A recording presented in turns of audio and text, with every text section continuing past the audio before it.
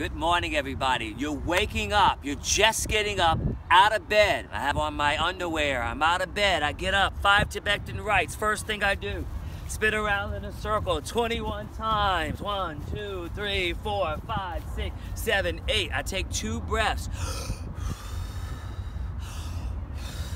Second Tibetan rites. I get down on the floor. I point. I flex my toes. I point. I flex my toes. I point. I flex my toes. I point. I flex my toes. I do that up to 21 times.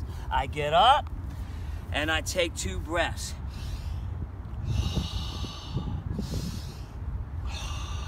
My third Tibetan rites, I get onto my knees, everyone. Hold onto your buttocks, come back and forth, camel pose. Now you do this up to 21 times, all the way back and forth.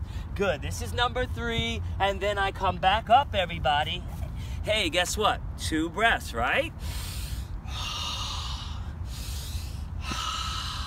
And then I go right into tabletop. This is Tibetan number four. Palms are facing down. Look up, pour your body weight up. Flex the toes when you come back. Tuck your chin into your chest. Work your core. Two more. Let's say we're doing up to 21 times. One more, and guess what, everybody? I get back up and I give myself what? Two breaths. Let it go. My last one, everybody, I come right into down dog. This is Tibetan number five. I go back and forth 21 times, pulling that energy up. Nice energy in the morning time. Let's say that's 21. Here I go. I come up, I release, I inhale the arms up. Two breaths.